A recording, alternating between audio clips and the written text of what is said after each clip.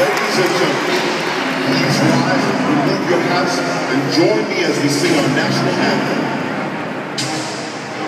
Oh,